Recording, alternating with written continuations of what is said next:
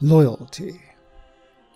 In our Imperium, it is one of the most paramount of all virtues, alongside piety, submission, and a complete lack of any desire to question.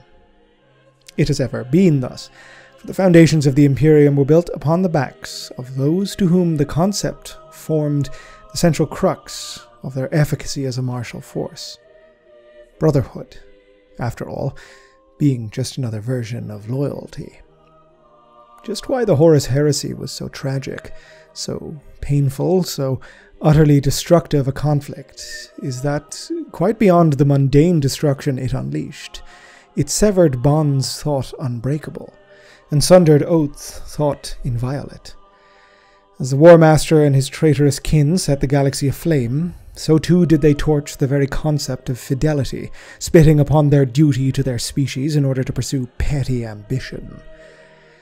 We, as an Imperium, lost in the Age of Darkness the ability to trust.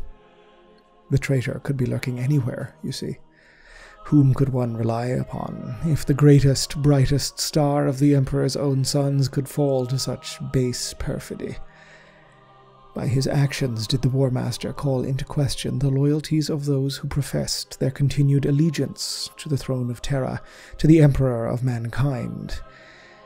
And with the subjects of this record, well, it hardly needs to be remarked upon that there are those of us within the deepest, darkest circles of knowledge who, parley to truths unutterable, have questions.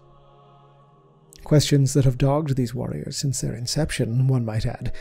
For just as the War Master hid his treachery behind apparently kingly deeds and seemingly warm smiles, so too did this legion seek obscurity cultivating quite deliberately a separation from the concept of truth and honesty, lest the Imperium see them for what they truly were. Secrets and lies, mysteries and untruths, an ever expanding series of confidences and occlusions piling atop one another until what remains is an organization so utterly impenetrable that those upon its outside cannot help but ask, why? What have you to hide from us? Are you loyal? Is there fundamentally a difference between loyalty and honesty? Honesty is the expectation that the truth is being told. On the other hand, loyalty is the display of trust. Honesty states that one must tell the truth, yet loyalty demands trust that truth is being told. Can one conceal the truth and still court loyalty? Are we considered loyal? These questions are for greater philosophants than I, your humble servant, but they must be borne in mind when considering the subjects of this long awaited record, for they go hand in hand with their very existence. Know then that this is the record of the first, the secret annihilators of the Master of Mankind, his uncrowned princes, the First Legion, Dark angels. The common appellation of this legion, the first, is not merely a numerical designation. There is a popular, if to one's mind inexplicable opinion, that the Legiones Astartes were created and raised to force concurrently. This is an untruth. It is likely that this belief spawned from the fact that, yes, Certain legions would come to outpace their cousins in recruitment and expansion, due to any number of factors. The incredibly stable gene seed of the 13th Legion would allow them to vastly supersede the 5th, for example, in neophytes, which, coupled with the latter's warfare and deployment preferences, ultimately led to the later enumerated Legion, the 13th, outsizing the 5th that preceded it. The first, however, were just that. The first Legion, the original, the template as laid down by the Emperor of Mankind during his wars to unify Terra under his banner. Other, however, than this simple fact, almost nothing is known of their origins. The foundation of the Legiones Astartes is one of the secrets of the Emperor that remain to this day perpetually shrouded. As one of his most enduring creations, this status is perhaps understandable, although understandably frustrating. Recent revelations about the participation of certain individuals within the Astartes and Primarch project must wait until another record, but what is currently verifiable is that the First Legion was his prototype, a master mold from whence others would be based. Drawn from the gene coding of his firstborn son, they were cast from that most stable of genetic heritage, possessing none of the apparently already extant qualities and curiosities that typified his other scions. Indeed, there appears to have been no attempt to either curate or introduce any. Whereas other legions had from their very inception clearly envisaged roles within the Legiones Astartes, such as the Revenant Ninth Legion's ability to breed Astartes from the most mutated of genetic stocks, or the 15th Legion's arcane pursuits. The first were made to eschew such eccentricities. Despite this, the process of actually arriving at such genostability was incredibly long in its gestation. It is estimated by a majority of the chroniclers party to such records of the imperial household that the emperor began his work well over a century before the final battles of the Unification Wars. His Thunder Legions were at this point still the most advanced genetically modified soldiery on the home world, and that is unfortunately not saying much.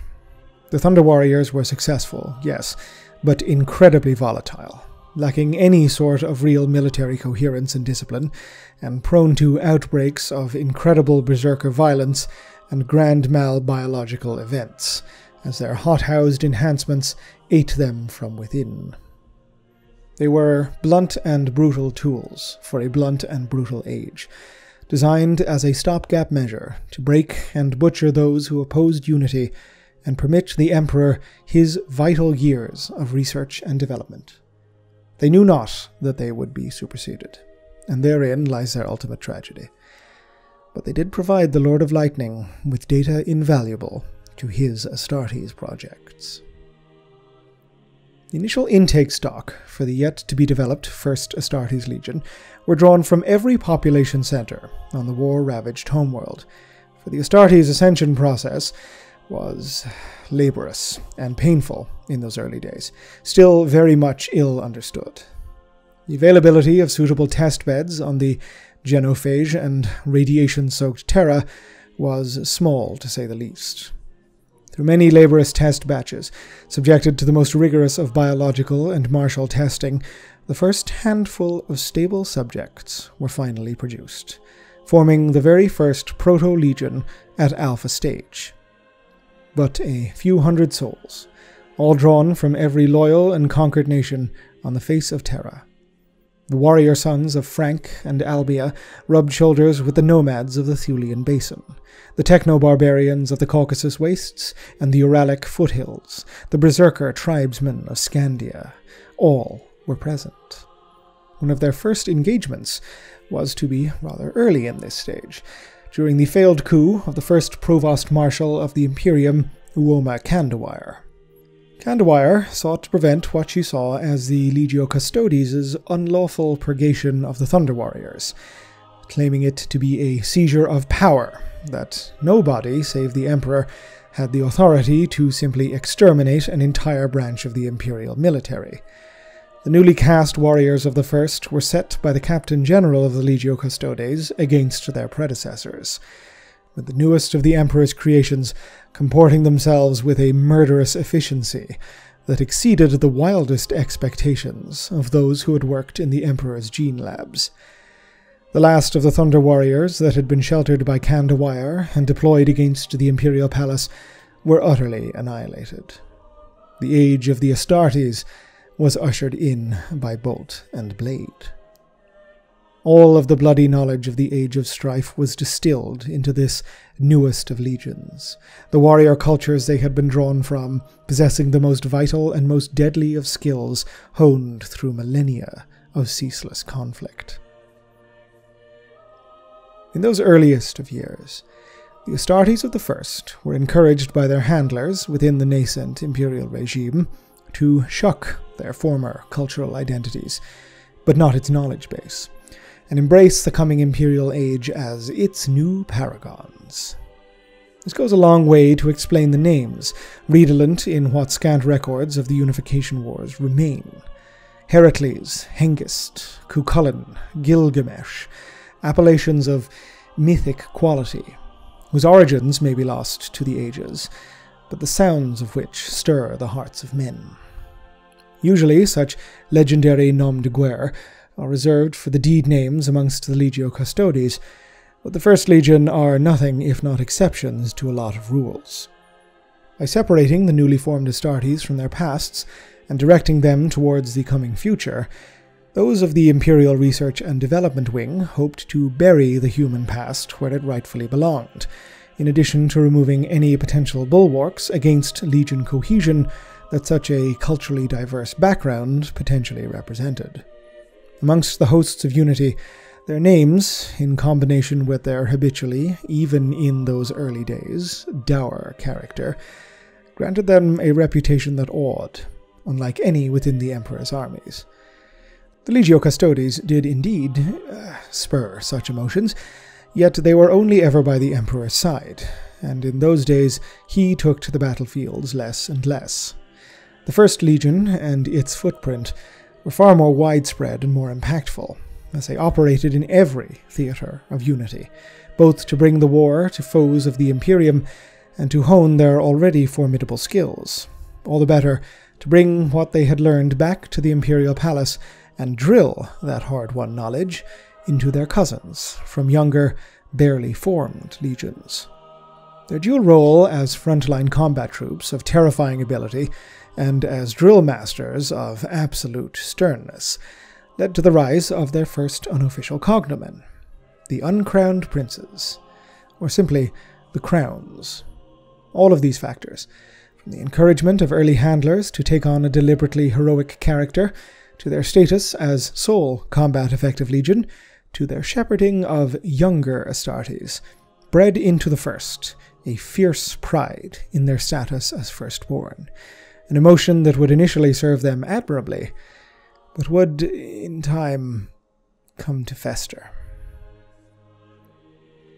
That, however, was many, many decades hence. Unity would blood the first, unsurprisingly, to a far greater degree than any of their compatriots within the Legiones Astartes. Serving in every twisted theatre of conflict the wars could throw at them, they, in response, created the first hosts, a particular facet of the Legion that would go on to become one of its defining operational characteristics.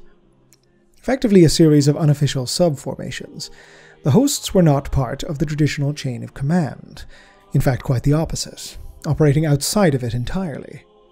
Each host took upon itself the burden of specializing in one or other pattern of warfare, making it their ultimate goal to become masters in whatever discipline they had elected to follow.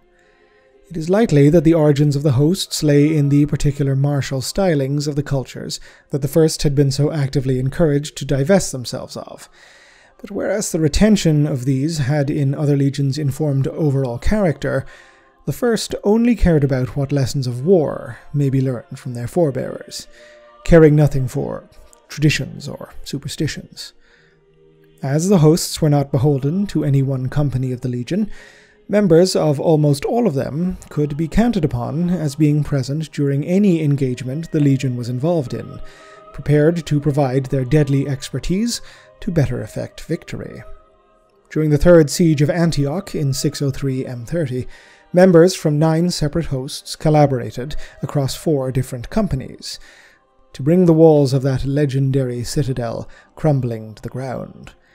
As many as 18 unique hosts are known to have developed during the Unification Wars, and while the years would eventually see many merging under the auspices of cardinal martial disciplines, they were nevertheless an undeniable factor in the first's stunning successes. The homeworld was a carnal house of Old Night savagery, a microcosm of the galaxy that the Emperor laid his imperial eyes upon, and with the First Legion's blood were the first lessons of modern 30th millennium warfare learned, and learned well. The first were a testbed, not just for biological ascension, but for transhuman warfare in its totality, a formation willing and able to trial, to codify every method of killing and destruction that was available to the then nascent Astartes physiology.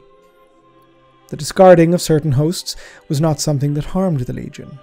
Quite the opposite, it fed the First's insatiable appetite for the knowledge of annihilation, and only served to make it even more effective. Initially operating only as small formations to provide tactical level support or rapid deployment forces to other unification armies, the first lived up to their designation and status by being the first true Legion of Astartes, growing to 10,000 in number by 668 M30, a period where their cousins numbered in only the scant hundreds. At the Battle of Samarkand, this legion was fielded en masse for the first time, against 20,000 Genhanced slave troops of the Udog Hal. Their ruler, the degenerate king of Akkad, had held the upper Asiatic basin in his thrall for decades, cruelly subjecting its populations to mad eugenics and twisted genoscience perversions that suited his corrupted and blinkered worldview. The Emperor, leading his 10,000 firstborn, broke the hordes of Akkad within hours, scattering the slave hordes like chaff before his vision. The very first Grand Master of the First Legion, Hector Thrain, claimed the Mad King's head as a trophy for his armor's belt. The records of Akkad's debased sciences were purged utterly, the king's laboratoria torched, and his palaces ground to dust. The mass scale effectiveness proven beyond all doubt, the first recruitment beds were expanded, and processing of neophytes was accelerated.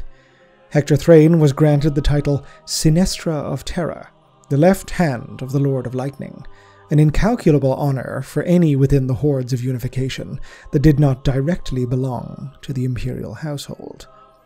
The first's reputation was only going to increase with each victory, taking on a whispered revenance for had these sons of the Emperor not simply strode forth into hell, and left hell broken and shattered by their passage?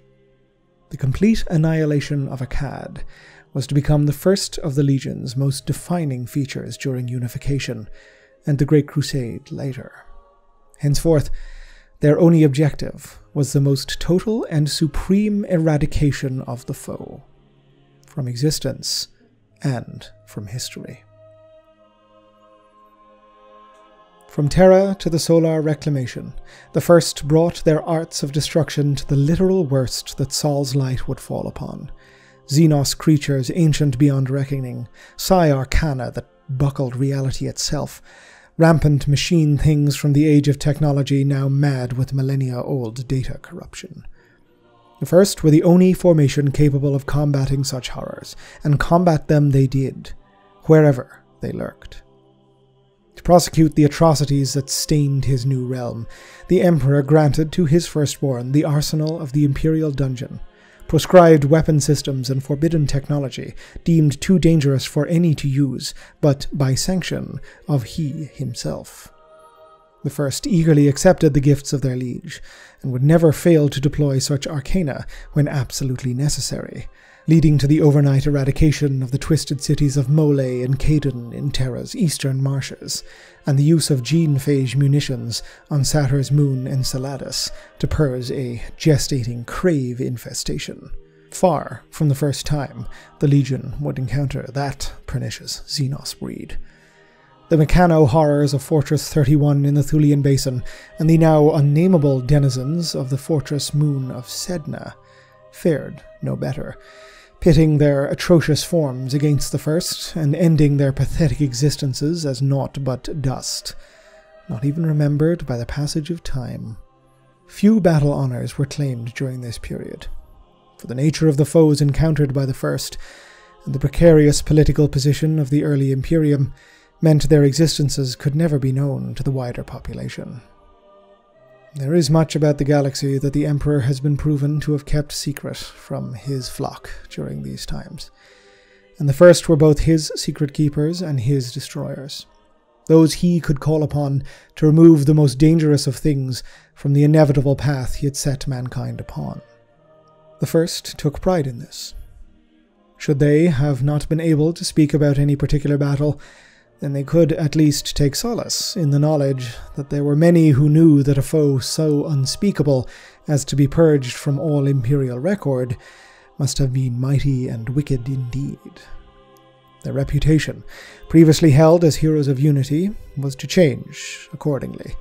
A darkening of their character in the eyes of the masses they did nothing to stymie. The respect they were accorded by the Greater Imperium was one that verged on terror.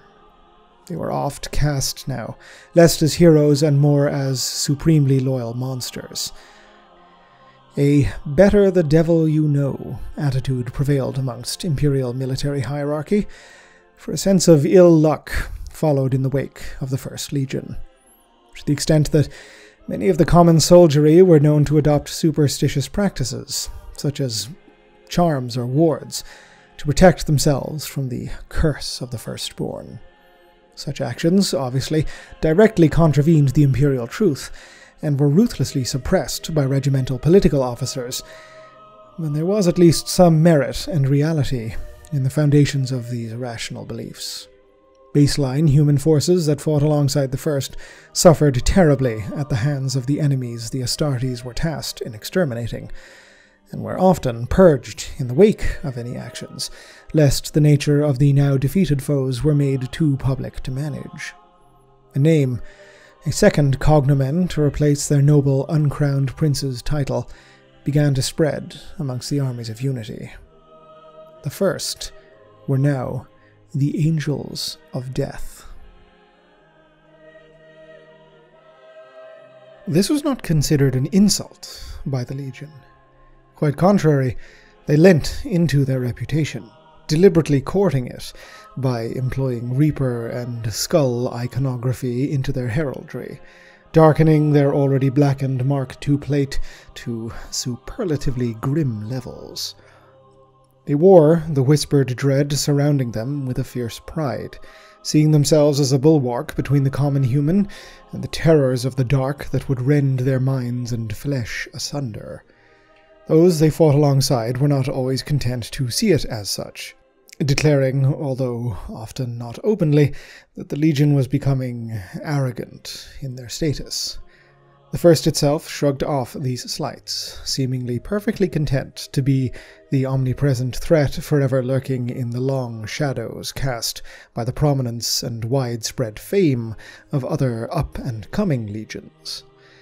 While many of their burgeoning cousins were engaging in the first true trials by combat during the solar reclamation, the first had already purged Sol of its tenth artificial satellite, the Xenos moon of Sedna, and were conducting a decade long series of vigil and purgation operations in the Oort cloud and along the edges of the heliopause. As with their early extermination efforts, none of this was committed to official record, aside from the most oblique references, or heavily redacted combat logs. And once again, the first took pride in this seclusion, for they had spent the decade forming the earliest of the Legion's orders. Similar to the hosts, the orders formed the third and most granular layer of the Legion's already Byzantine combat and authority structure each a collection of specialists dedicating themselves to a singular focus, or a singular foe, more precise than the wider scope of the hosts. These orders could count amongst their number only perhaps a dozen or two Astartes, and each was in possession of unique traditions, ciphers, and practices utterly inscrutable to outsiders, even their legion brothers. The knowledge they held, and gained through the blood of their initiates, could and would be disseminated amongst the Legion whensoever it was needed, rapidly turning the Orders into a vital part of the Legion's sheer lethality. While the hosts had found themselves collapsing into one another as their functions aligned, the Orders only propagated further, with each great and terrible enemy of mankind finding a dedicated task force of the most lethal of the Emperor's Astartes arrayed against it. The orders further helped evolve the Legion, excising the weaknesses, the gaps in knowledge and skill that it had still retained when it had first entered the darkness of the heliopause. They returned from their lonely sojourn to no victory parade or great ceremony, but to the satisfaction of the Emperor, and the honor of being at the vanguard of the greatest human endeavor in history, the Great Crusade. Their service was by no means unnoticed by the Master of Mankind. They were, after all, still his firstborn, his bloody Sinestra, and just as he had granted to them the use of the still mostly forbidden weapon systems humanity yet possessed, so too to them did he gift ships of simply superlative design and provenance. As the first expeditionary fleets mustered in the orbits around Saturn, Terra, and Mars, ancient battleships reawakened from the Martian macro-orbital vaults, as well as ships from the Jovian shipyards with keels fresh and guns gleaming, the first were granted the use of the majority of remaining Terran ships, the cream of the void crop, personal provenance of the Emperor as Lord of the homeworld. These ships were almost all relics, having survived miraculously through the Age of Strife, the origins of their keels and their weapon systems lying deep in the dark age of technology itself. Their size far belied their destructive potency in all cases, Yet even so, the First Legion's new flotilla counted amongst its number not one but several of the mighty Gloriana class battleships. The gift was a reward, yes, but also a simple choice of pragmatism on behalf of the Emperor. The first, whatever their occasionally too prideful disposition, had at least well earned this arrogance, proving themselves time and time again as being able to not only bring total destruction to the greatest enemies of humanity, but also doing so bearing its most deadly of weapons. The Angels of Death was a name that still applied to them alone, for they were his grimmest necessity. The expeditionary fleets only possessed scant star charts from the archives of Terra, Mars, and the Saturnine arcologies. They were going into the outer dark blind, grasping along ancient warp routes for destinations that may not even be there. And in that darkness, as the first had ever found, dwelled terrors beyond comprehension. Who but they could be counted when all else had failed to stand resolute against them and ensure that the day was carried for the Imperium? The question is, of course, rhetorical.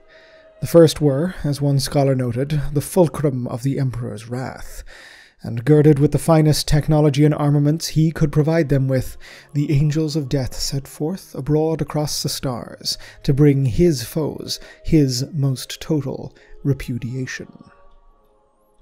These first extrasolar expeditionary fleets, engaged in the noble elements of the crusade one's acolytes are no doubt aware of. The reunification of Griffon, the taking of Tentrion, the invasion of Rust, the pacification of Goro, all were mass engagements full of glory, both martial and political. Long lost colony worlds of Terra and Mars were being discovered and made compliant, some with barely a shot fired, some with none at all, and some only through the great heroism of the Legiones Astartes. Knowledge of these triumphs was spread far and wide, and in their shadows, the First Legion had set about the grim and silent work they alone could undertake bringing the Great Crusade to the vilest nests of monsters the galaxy could muster. Records for almost all of these are utterly sealed, or redacted beyond any comprehension, but those that one has been permitted access to are truly frightening. The Osirine cluster, the lush and verdant jewel of its local volume was laid waste to by the first, so that they may destroy an ancient sentient planet killer, a machine of a human empire long lost to the sands of time, left dormant in the ruins, only to be reawakened by the resurgent Imperium. A similar fate befell Betelgeuse, where the Legion purged from existence a hideous Xenos protoplasm, some form of horrid hive intelligence responsible for being the infection that doomed the populations of a dozen worlds to liquefaction into rotting slurry. That these were the only ones one can name here, that hundreds, if not thousands, were recorded only by the Legion itself, speaks not only to their dedication to their assigned role, but also to the sheer horror of that which they had made it their mission to bring to heel. The selfsame dedication to secrecy, both by their own predilections and by the order of the War Council and the Divisio Militaris, renders their combat record from this period incredibly scant, noticeable in comparison to their fellows, and remarked upon by the same at the time. Some, albeit those far removed from any knowledge of the Legion's motives or tactics, wondered why they had only but a few worlds rendered compliant by their hands. It was because for each world that the Legion could claim to have been delivered to Unity, ten more lay cold and dead in the void, scoured of the enemies they had once held, a testament to the utter resolution of the first. Their initial crusade engagements had granted them enough experience with the galaxy, in combination with their experience within the Sol system, to collate their doctrines of warfare into one tome the Principia Bellicosa, that document by which the entirety of the Legiones Astartes was organized. The Principia was not a pure product of the first by any means. Its origins date back thousands of years into deep Terran history, but their contribution to it cannot be denied or understated, as just as in the closing days of unification, the Emperor's firstborn continued to shepherd humanity towards their liege's ultimate goals, even if the species, even if their fellow Astartes, knew little of it. These were the true halcyon days of the First Legion. Unshackled from Terra and let loose upon the galaxy by the Master of Mankind, they were at their zenith. No other legion could ever come close to matching them for size, fleet power, armament capability, or sheer lethality. Even as the 16th Legion Luna Wolves and 6th Legion Vlka Fenryka were reunited with their Primarchs, the First Legion retained its primacy amongst all their fellows with their Grand Master holding more influence over all within the Imperium, save for Malcador the Sigillite. No matter the whisperers who murmured about the occluded nature of their conquests and campaigns, it continued to be common knowledge that they were preeminent, the apex of the Astartes, feared, absolutely, but respected in kind. Unfortunately, as time and history have so often shown, nothing is permanent, and pride is a fickle thing, ever prone to becoming as brittle as glass should it be held on to for too long. For the First Legion, this would happen slowly, but when the disease of hubris took hold, it would not let go, merely accelerate, a poisonous vector into the Legion's soul. Inexorably, the First's mandate of being the Legion to combat the most powerful of foes began to become twisted into a perverse desire to actively seek out those that would pose a challenge. The simple pragmatism the Legion had been known for was becoming a desire to find those that brandished power as great or greater than they themselves, those that could, potentially, even defeat them. Threats that they had once deemed in absolute need of their attention were now marked as unworthy of it, left to other legions, or even the Excertus Imperialis, much to the detriment of the latter. Yet even this new escalation did not, initially, harm the First Legion unduly. Their skills were more than up to the task, which, in and of itself, proved to only accelerate their downfall. Each new foe previously thought incredibly dangerous they humbled only added to the ever growing bulwark of arrogance. The Legion was becoming convinced that they had arrived at the pinnacle of warfare, that they embodied all a military formation needed to be to defeat any enemy imaginable. The previously ever adapting hosts became static, gradually pivoting to a focus on tradition instead of progression. Innovation drawn from battle experience stagnated entirely, as the hosts and orders jealously guarded their own lore, convinced it had become the vital piece in the ascendancy of the Legion.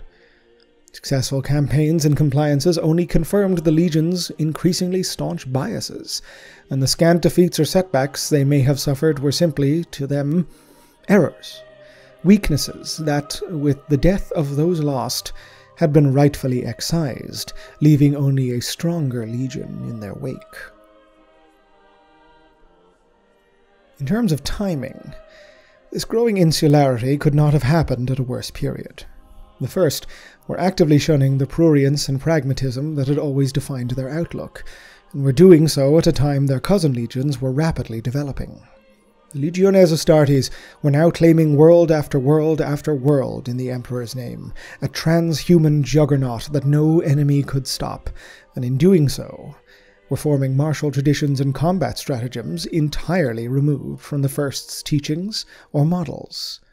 The 12th Legion Warhounds were becoming a rival to their brutal efficiency, while the 17th Legion Imperial Heralds and the 18th Legion both had become champions of the common human. The 13th Legion, no longer the Warborn but now the Ultramarines, had since their recent unification with their Primarch now come to match the First for sheer size. The 7th Legion Imperial Fists now had a Dark Age weapon to outgun anything within the First's fleet, thanks to Rogal Dorn, bringing with him from Inwit the mighty battle station Phalanx. To the Angels of Death, the sole tenants of whom had once been their unshakable primacy amongst their fellows, each new blow to their pride was worse than that of the last. It may not have been visible on the surface of so inscrutable a collection of Astartes, but the impacts were there, leaving hairline cracks in the Legion's psyche that would only worsen and drive worsening behavior and decisions. As the other legions began to form coherent identities of their own, either through their reunification with their Primarchs, expression of their gene seed, or simply by the passage of time and their experience with the Great Crusade, the first turned ever inward, placing simulacrums of their old virtues upon pedestals, and regarding any deviations from their now hidebound traditions as both weaknesses and betrayals and the world of Canis Baelor, a legion now unknowingly desperate to prove themselves, encountered a now forgotten Xenos race that repulsed every advance they made. Three distinct assault phases were simply turned back, each suffering losses worse than the last. The legion's slow decay was bearing terrible fruit, and they simply could not see it. Unable to accept that they could actually be bested upon the field of battle, Grandmaster Thrain himself, the Sinestra of the Emperor of Mankind, led a fourth assault, only to find himself and his combat echelons utterly surrounded by the far more numerous aliens. It is unclear whether Thrain would come to realize what led him to such a position, but what is known is that Canis Baelor would be his grave, a sacrifice buying time for the retrieval of vast quantities of Legion armor and artillery.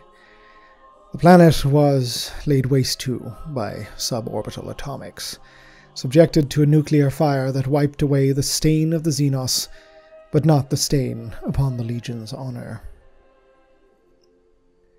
The death of Thrain should, had things been different, prompted soul searching amongst the Legion. The questioning of why, what had clearly been arrogance and pride, had led to such an avoidable loss of life. Instead, perhaps predictably, the immovable legion instead devolved into petty infighting, which each of the hosts present in Thrain's expeditionary fleet accusing each other of having failed in their duties and having been remiss in the completeness of their lore. This would only spread further, as the question of Thrain's successor overtook the Council of Masters upon Gramarye, the Legion's central fiefdom and armaments hub. The Masters of the Hosts and Preceptors of the Orders had gathered to debate the succession, but the vitriol of the Canis Baelor debacle had simply overtaken proceedings. None were willing to find fault with themselves, leading to the complex web of loyalties to company, chapter, host, and order that so many within the Legion were beholden to, to devour itself alive. The pace of the Legion's advance across the galaxy ground to a halt as more and more of the First quit their frontline duties to join the debate at Gramarye. Until, finally, an outside authority was forced to step in. Malcador, the Sigillite, the right hand of the Emperor. While history has shown that the Emperor has been more than willing to rebuke and censor legions he has found lacking, that Malcador presented no such harshness in his rebuke speaks volumes to the respect the First were still accorded, despite their recent difficulties. The Sigillite presented the Legion a candidate of his own, and words intended to rouse the war spirit of the First once more. A fortress can be held upright by many pillars, Alone they are nothing, but together they are mighty. Yet a fortress must also have a master, or else all its strength is for nothing. Malcador's candidate was Urien Vendraig, no master of a host or preceptor of an order, but a simple line captain of the 8th Company of the 14th chapter. His origin was Terran, and while his combat record was sterling, he was yet uninitiated into the mysteries of either host or order, and thus outside the squabbles of hierarchy, and unbeholden to any one doctrine. Deeming that the Legion was in need of a warrior, not a master, Malcador's suggestion was one presented as advisory, yet all within the First knew it came with the gaze of the Emperor himself upon it, and that such a suggestion could only be followed. The Masters of the Legion acceded to the Sigillite's wisdom, granting to Vendraig command of the First. The newly minted Grandmaster faced quite a challenge to unify and to give renewed purpose to a legion entirely in the doldrums. His first actions were entirely in line with his service record. Having focused on straightforward combat rather than arcana, he sought to turn the legion's vision outwards, and to place them once more at the fore of the Great Crusade where they belonged. A challenge was called for, one worthy of the Legion, yes, but not one chosen only for the possibility of defeat. Vendraig needed a foe that he could forge his legion anew with, but not one that could lead them back into old habits that had damned them upon Canis Baelor. Timing was, for good or for ill, upon his side. For the 105th Pioneer Company of the 5th Legion Star Hunters, running ahead of the main expeditionary fleets, had marked for the highest of Imperial clearances one such enemy. A terror known only to history as the Rangda. One should note at this point that this is a record of the history of the First Legion, and not of the three Rangdan Wars, latterly known as the Xenocides.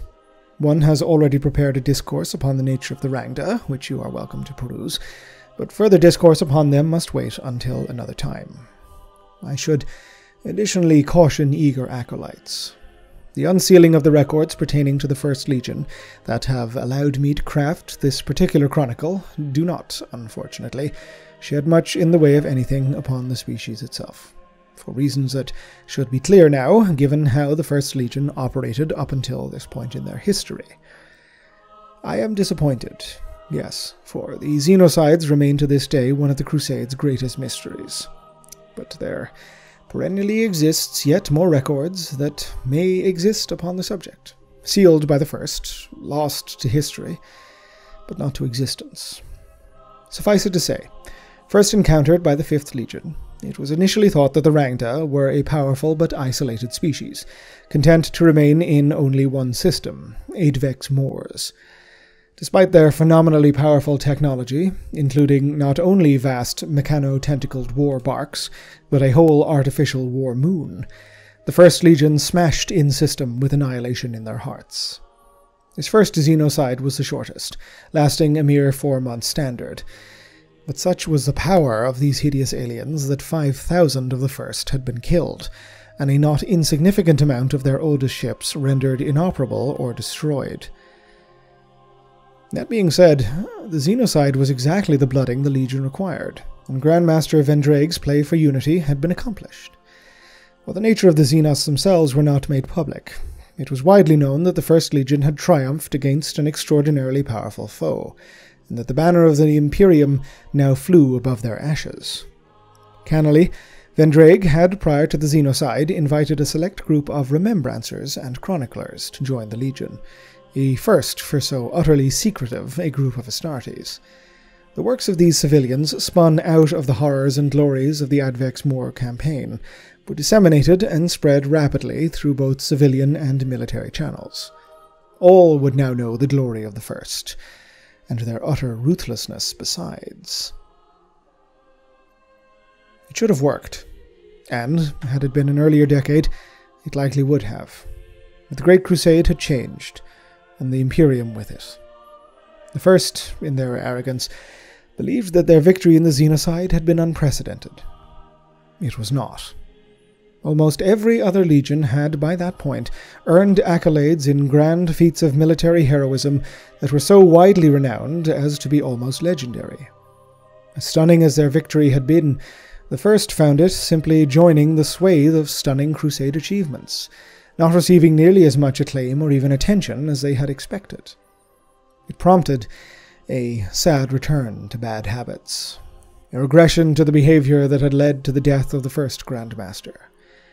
Vendraig, unwilling to see the first become a footnote to history, eclipsed by younger and, in his view, unworthier legions, obsessively sought theatres of war where his legion could win great, and more importantly, visible honours. A series of campaigns followed, with the first scattered throughout the galaxy, chasing rumours and reports of monstrous enemies and impossible odds. Each they delivered, only to find it was nothing more than what was at that point expected of all legions, even the youngest. Growing ever more reckless, Vendraig and his commanders laid their sights on what they now considered to be a true test of their mettle. Upon the fortress world of Kar the 13th Legion, led by their Primarch Roboute Guilliman, were attempting to bring a continent sized citadel to compliance, yet it resisted their every attempt to do so. With the siege specialists of the 4th Legion Iron Warriors and 7th Legion Imperial Fists nowhere near, the first offered their aid to Guilliman, having hosts dedicated to just such warfare, which the Primarch gladly accepted. Guilliman expected the first to follow his carefully planned stratagems, expanded now to incorporate the honored legion and its capabilities. They did not. They squared up against the city sized main gatehouse of the fortress, 10,000 strong, and simply charged. The slaughter and destruction that followed was beyond anything the powerless Ultramarines had ever seen, and as the First Legion forced a breach in the walls at the cost of hundreds of their Astartes, Guilliman relented, his hand forced, and followed with his own Legion elements. The first rapidly outpaced the thirteenth, as the latter methodically captured and secured each bastion and pre-marked objective, while the Angels of Death cared only for the slaughter. The seizure of the final keep was Vendraig's honor to achieve.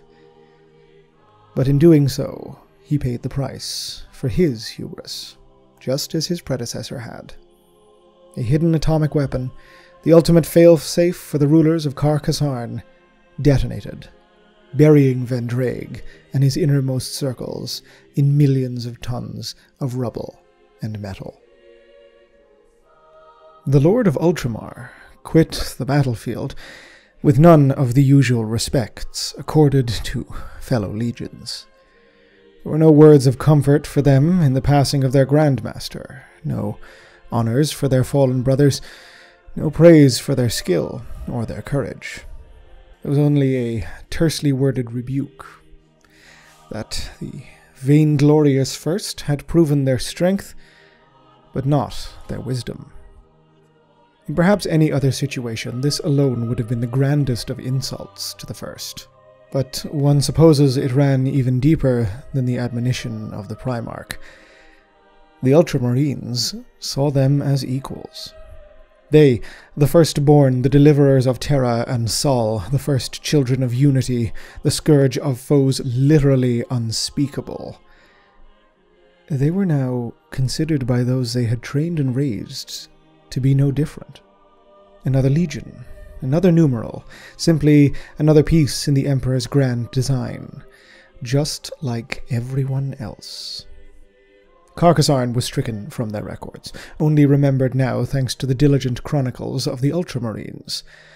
In the wake of Vendraig's death, the Legion was rudderless once more, with the Council of Masters once again claiming power, but this time splitting the Legion across all fronts, desperate, it seems, to seek personal redemption for yet another failure.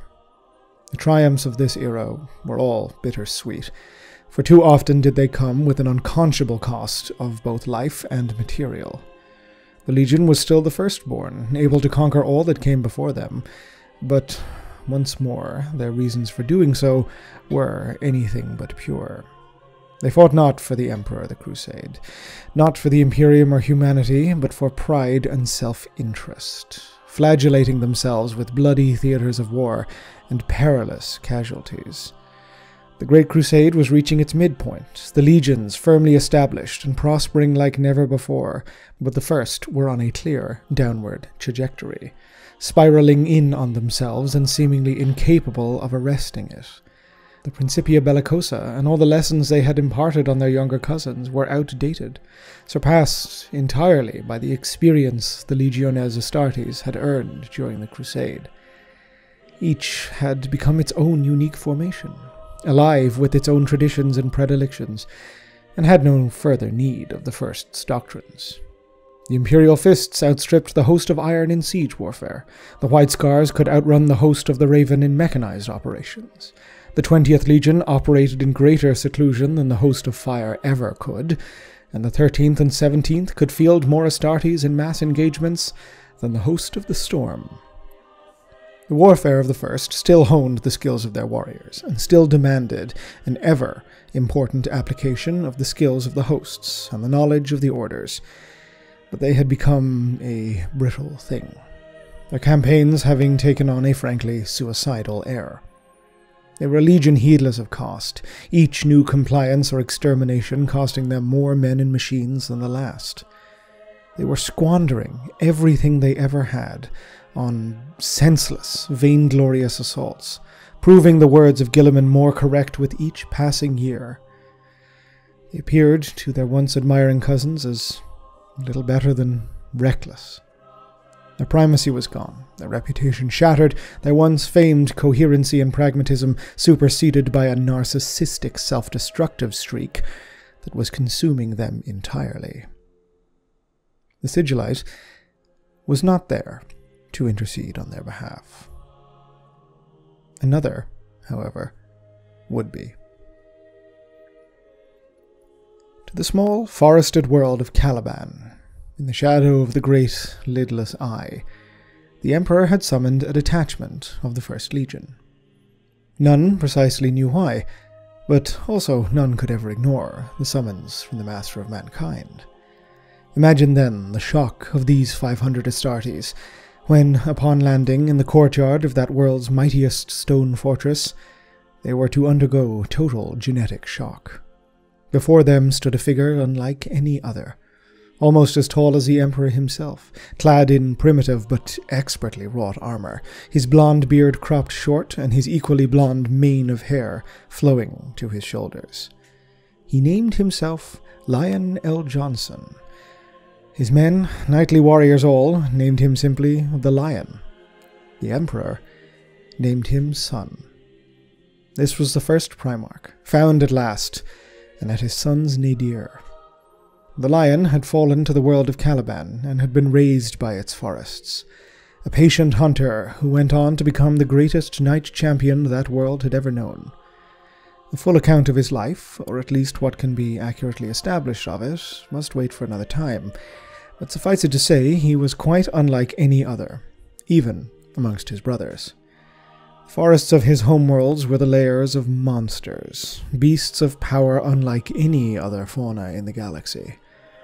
That some records label them as chimeric creations of the dark age of technology, while others see them as the product of a taint unspeakable, is noteworthy enough for inclusion here, but should be borne in mind, right now, only for the importance that they would play in the first Primarch's development.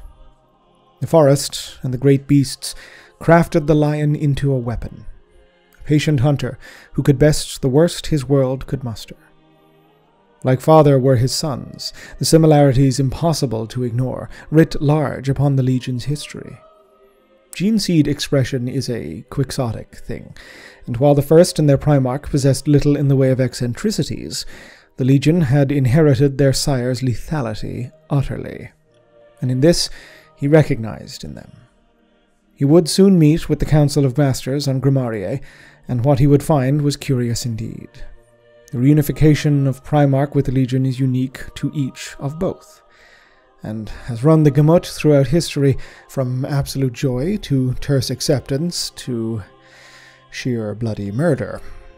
The masters of the first were filled, upon hearing news of their gene sire's rediscovery, with both pride that such a momentous day had finally arrived, and shame as the veil of their recent past was finally lifted from their eyes, and they beheld the battered, ruined legion that was the product of their years of vainglory.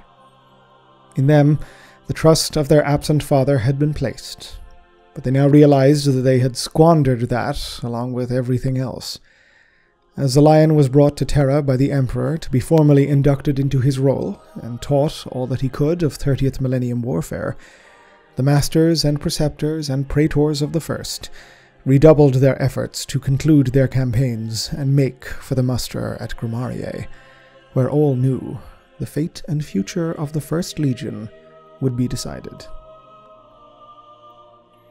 The Angels of Death were a legion in need of renewal both of purpose and of structure, and this the lion sought to grant his sons with his first acts, melding the traditions of the Legion and of Terra with those of Caliban.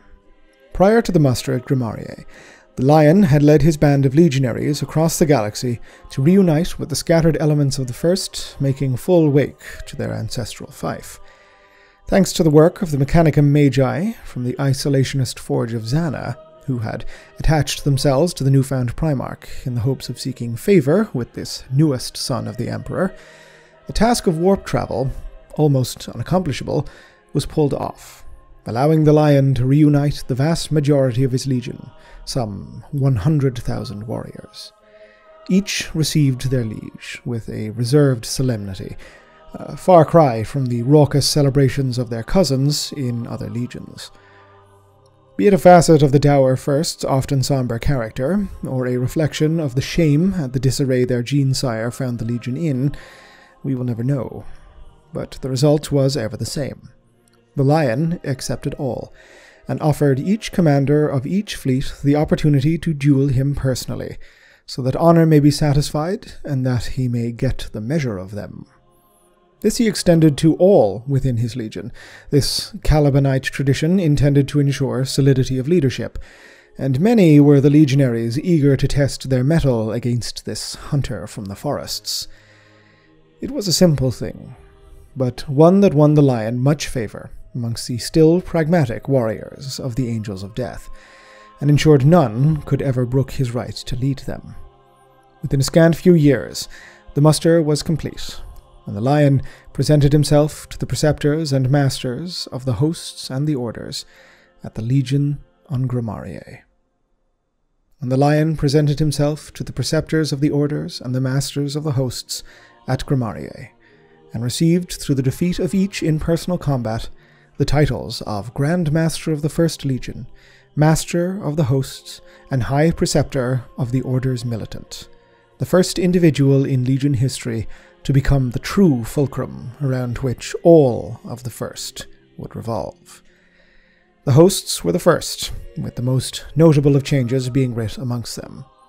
With the directness that has now become renowned, the lion merged many, creating the six wings of the hexagrammaton, a fusion of old legion practices with those of Caliban. Stormwing, Deathwing, Ravenwing, Ironwing, Firewing, and Dreadwing choosing personally new masters that would inherit these formations. Many orders militant, their inner workings now exposed to the lion, were found wanting, or their particular skill and lore found to be better applied elsewhere within the orders, now beginning to resemble their Calibanite knightly equivalents. The changes were sweeping, but also in many ways in keeping with the legion that had, in the past, always been willing to make sweeping changes, if improvements to their efficacy could by their doing be effected. While the lion's popularity with his warriors only increased, there were some within the legion who began to harbor suspicions regarding the abrupt end so many centuries old traditions of the first were being ingloriously given. As these reforms were underway, the first Legion recruits from Caliban were raised to full combat status, including many of the Lion's own inner circle who had elected to undergo the painful and unreliable late life Astartes ascension surgeries. While many had not survived these trials, those that did found their stoic Primarch grateful for such ardent loyalty, and were granted positions of influence within the Legion according to their skills. All were required to earn them, the Lion being the most meritocratus of his brothers by a large degree, but this nevertheless did not shield the oldest and most veteran of the first, Terrans all, from feeling less than pleased with this influx. As you may be able to guess, there was a wing forming in the Legion, quite outside those of the Hexagrammaton, and coalescing around a cadre of Legion veterans who were finding themselves ultimately unwilling to discard the past and pivot to the future, to whom the Lion's reforms and appointments ran roughshod over traditions that had driven the first to their apex. Their doubt would linger, forming a silent but present minority amongst the broader swathes of the Legion who felt precisely the opposite for whom the reunification with the lion was a gift that had banished the disquiet within the soul of the first, which had persisted for many years. He had broken them of narcissistic conducts through a new found purity and purpose. There's little doubt the lion was completely aware of the obstinate elements within his new legion, but chose to make no public move against them, trusting instead that once the legion had set forth in crusade once more, any fears these veterans possessed would be banished, and once they did so, they would be doing so under a new name. The First Legion of old was now, and would be forevermore, the Dark Angels. The first action of this reborn legion was one of perhaps the most symbolic they would ever undertake, especially for a legion so avowedly unconcerned with such things. The world of Carcassarn that fortress that had buried their former Grand Master, which remained a stricken laurel of shame in their record of conquest, had found its 13th Legion garrison besieged, a biogenic weapon recently unearthed ravaging the population and mutating them into slavering ghouls. None of the besieged Ultramarines could ever have expected the First Legion to return, nor that there were even any Crusade forces within reinforcement range. Imagine then their surprise when the Gloriana class flagship of the Lion, the Invincible Reason, broke from the warp at the head of 10,000 Dark Angels warriors. The Lord of the First made swift work of the foe, scouring them from existence, be it by his sword or the plasma weaponry of the Dreadwing. The relieved Ultramarines made entreaties to the Lion, perhaps expecting to receive a prideful statement of honor renewed, as they would have done with Fulgrim's Third, or a chastisement of the failures akin to the choleric temperament of Ferrus Manus's Iron Tenth. They received naught, for the lion, and now, by extension, his dark angels, cared naught for them. The enemy had been exterminated. Their duty was done. A statement had been made to those with the ken to perceive it. The lion and his legion now existed for one purpose alone the prideless destruction of the Imperium's enemies. By a twist of the strands of fate, an enemy of the Imperium would present itself for the Dark Angels, and one that would test them like no other. In 862 M30, from the unknown marches of the galactic north, the Rangda, that threat of decades past long thought buried, emerged, and in numbers that defied comprehension. Carcassarn was a prelude, the orchestral tuning of the Lion's Legion. This second Xenocide was their symphony, the crucible in which the son of the forest in particular would forge his legendary status. The Rangda fleets dwarfed all possible imperial expectations of an enemy from this region. Tens of thousands of wicked mechano-tentacled ships, and dozens of their artificial war moons, all just as lethal as the one the angels had destroyed at such a high cost. Entire sectors were utterly overrun, their human colonists neuro-shackled to Xenos' will. Only by the heroic sacrifices of the expeditionary fleets, comprising elements of the 5th Legion Star Hunters and the grim, pale warriors of the 19th Legion, was catastrophe averted. Their combined detachments rallying around the Forge of Zana and resisting the predations of the Rangda for eight bloody months of siege, until finally Imperial forces, led by the Dark Angels and the 14th Legion Death Guard, arrived in relief. 5,000 of the angels alone, their entire death toll in the first Xenocide, would be lost in the one breaking of the Siege of Zana. And this toll would only rise as two decades of bitter, horrible war ensued, both to exterminate the Rangda and reclaim the worlds and populations they had so brutally seized. Morkar, Vorksag, Morrow. The names of these battles remain, but not their details. The nature of the Rangda, as noted, has been deeply and thoroughly suppressed.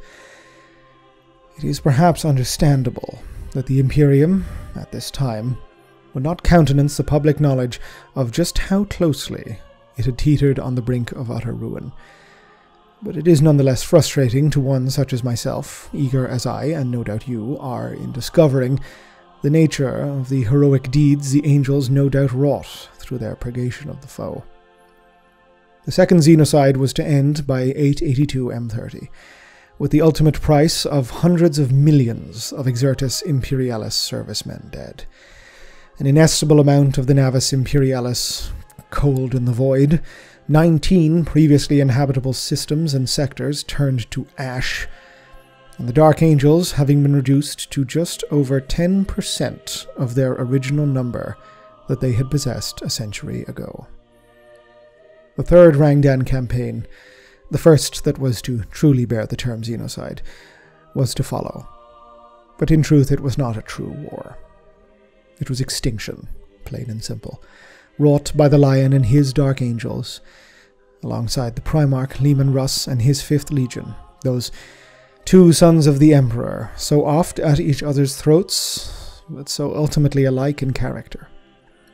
The twin legions unleashed the ferocity and fury upon the retreating Rangda, and in the deep dark of the galactic north, now cordoned off from Crusade forces, they set about their work biophagic weaponry, viral scourges, nanotechnus bombs, even technology that removed physical information from the quantum strata of reality was deployed to erase all trace of the Xenos.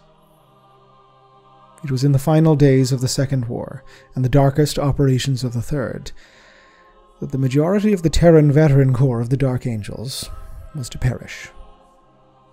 It is possible that these legionaries had simply elected to prove themselves to their new liege, under the painful knowledge that their previous destruction of the Rangda had not been as total as they had believed. But it is also possible that in the fires of the most dire conflict the Imperium had ever faced, the Lion had coldly sacrificed those warriors, excising a potential weakness within his legion, and putting paid to any potential disloyalty. He would not be the only one of his brothers to have done so. But the truth, as with a lot of things concerning this dark chapter of both Imperial and Legion history, will never be fully known to us. What is known is that, as the Legion set about the bleak work of the Third Xenocide, recruitment from Caliban accelerated, and the Legion eschewed induction from any of its other scant fiefs, even ancient Gramarye. The new Calibanite Astartes, inducted since birth into the mysteries of the knightly order of their homeworld, would shape the Legion into one that more closely resembled the Lion's will than it ever had. Unburdened, they were, by the pride that had dogged the old angels for so long. The conclusion of the third Xenocide is a date unmarked in either Legion records or Imperial ones, but it is, by later Legion deployments, wherever they may have been marked by less secretive ones, estimated to have taken only a single standard year. Extermination complete, their enemy extinguished, the Lion and the Legion simply moved on, as unconcerned as their Fenrisian brethren with the pomp and circumstance that would ordinarily mark the successful conclusion of a campaign. The Dark Angels divided once more. The combined strength, depleted as it was, no longer needed. Fresh recruits arrived daily from Caliban, and the Lion saw no reason to halt either the First or his Crusades' work. While they yet remained an operational fighting force, they were still one of the most dangerous in the Imperium. Previously disbanded expeditionary fleets were reformed. Fresh auxilia regiments and Mechanicum Tagmata, majorly from Zana, were oath sworn, and the Dark Angels took once more to the dark reaches of the void, to ply their signature talents where they would be needed most. For the lion, his next target would lie upon the world of Sarosh. Calls for his aid having been recently called for by the Khan of the now 5th Legion White Scars, recently reunified, The Lion responded promptly. The Warhawk, though relatively new to the Brotherhood of Primarchs, had nevertheless developed as close a relationship with the Lion as any of his brothers could, appreciating his quiet honor and omnipresent pragmatism. Sarosh, a recently compliant world, had, under the Khan's recent visit, appeared rancorous, resisting the tithe officers of Terra and straining against the imposition of the imperial truth. The Lion's arrival, for reasons ascribed to aspirations of independence, precipitated a shift into open rebellion. The Saroshi even attempted a direct assassination upon the Lion's personage, by means of an atomic charge somehow smuggled aboard his flagship, the Invincible Reason. While their plans ultimately came to naught, their rebellion was swiftly crushed, they would unknowingly deal a wound to the Legion unlike any other, and one that would not see its ultimate toll paid for many decades to come. In the wake of the Saroshi Rebellion, many within the Legion began to question exactly how the rebels had managed to bring a nucleonic device aboard the Invincible Reason. The ship was perhaps the most secure of any flagship of any legion, as it was well known that none served aboard but for the knowledge and explicit grace of the Lion himself. While it was never stated outright, for the Legion was never forthcoming about any such matters, treachery was suspected, as it was something of an open secret that despite the losses of the Xenocides, there yet remained some who may question the Lion's leadership. The Primarch would act decisively, although he would not justify his actions, for he never once had, nor ever would. Luther, second in command of the Legion, the Lion's friend of old, his surrogate father, the one who had found him in the depths of the forest and raised him, was now to lead a combined Terran and Calibanite force back to Caliban itself, to oversee Legion recruitment and training.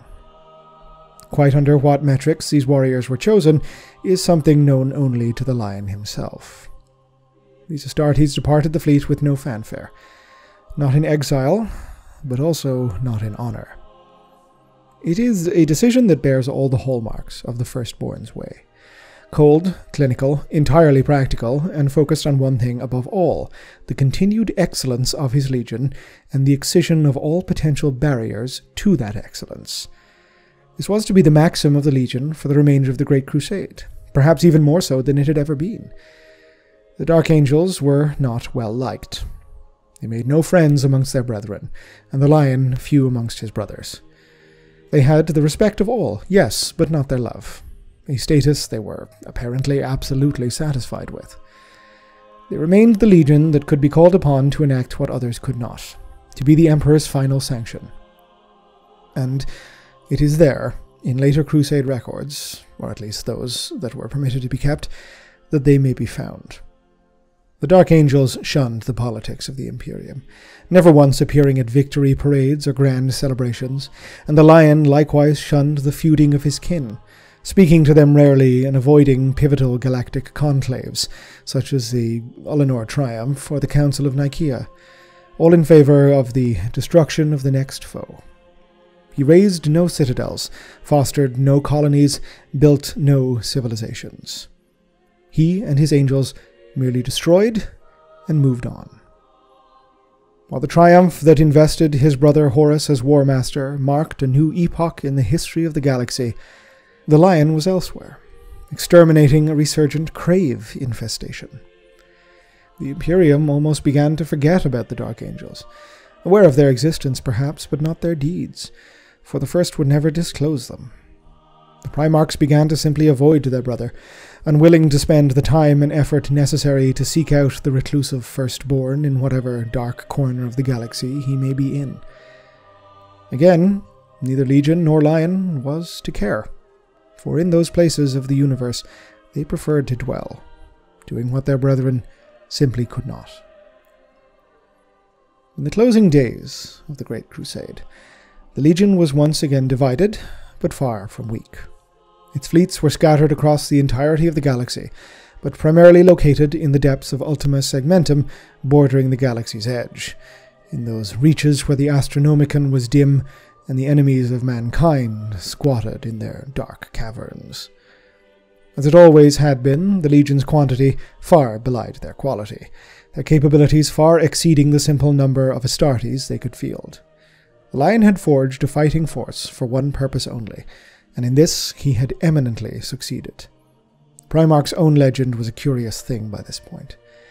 His reputation was as a general without peer, exceeding that even of the newly invested War Master. His victory tally was only exceeded by Horus Lupercal because of how many of his own years he had spent exterminating the Rangda, and how many worlds had been burned in the void instead of put to the pages of history.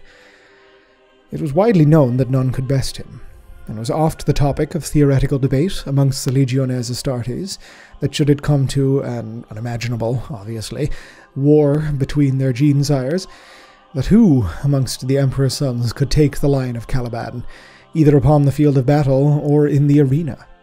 The Primarch obviously cared not for the concerns of others, being as inwardly focused as he was, but that did not stop his repute from being ardently speculated upon.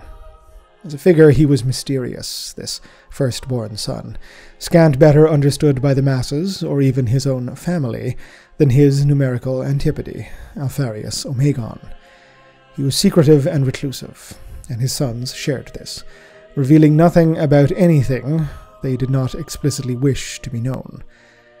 It is perhaps for this reason that the Lion and the Dark Angels have, in the histories, appeared and been characterized by chroniclers galore so inconsistently.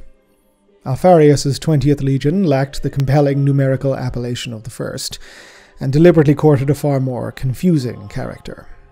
The knightly aspects of the Angels, combined with a combat record and presence longer than any other legion, invariably drew eyes and conjecture. But the first were ultimately a bulwark against all of that.